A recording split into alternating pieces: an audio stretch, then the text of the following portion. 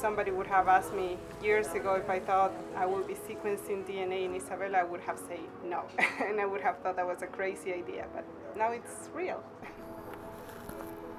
the idea is that if I take a certain amount of water, then I can check all the DNA that's floating in this water of all the organisms that were around the area where I took the sample.